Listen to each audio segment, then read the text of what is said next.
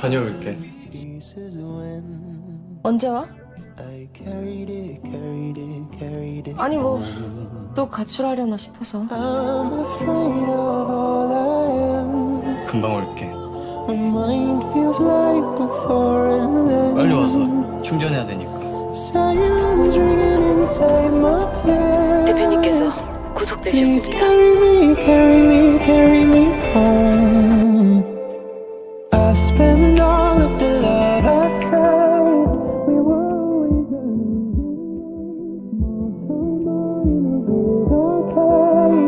죄송합니다.